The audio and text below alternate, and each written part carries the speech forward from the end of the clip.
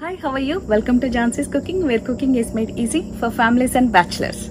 And today I'm going to show you one more traditional dish from South India, which was taught by my grandpa. The main ingredient of this dish is eggplant, which I'm going to harvest from my own garden. Eggplant have lot of health benefits. It is rich in vitamins and minerals. It helps with the digestion and heart health. Before I start my recipe, please do subscribe to my channel, Jhansi's Cooking, and support me. I'm taking around 1 pound of eggplants and 1 pound of tomatoes and I'm taking 2 tablespoons of tamarind and I'm taking around 6 to 8 green chilies and 1 bunch of cilantro and I'm taking 1 teaspoon of turmeric powder and I'm taking 1 tablespoon of salt and 1 garlic clove around 1 by 4th cup of oil. I cut eggplants like this long lengthy way and tomatoes like this in long lengthy way. I took a wide pan, put it on high flame. I'm adding oil to it.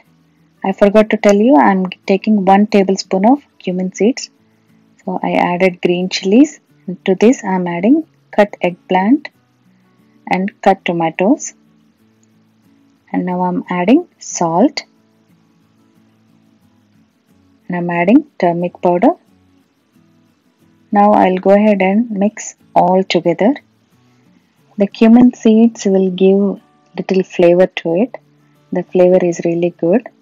So go ahead and mix all together. So I'm going to cook like this for 10 minutes and after 10 minutes I added tamarind and cilantro. I'll cook like this, mix all together and cook for another 5 minutes. So the total cooking time is 15 minutes.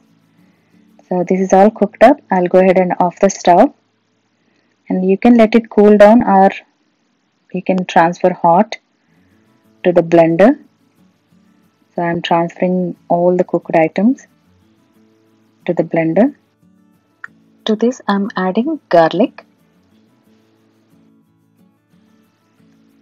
I'm blending it slowly on a very low speed because it has to be in chunky way. Don't blend it to smooth paste. So it has to stay chunky way. See, you can see like this. Now I'm transferring to the bowl. Now I have shown you very simple way of making this chutney.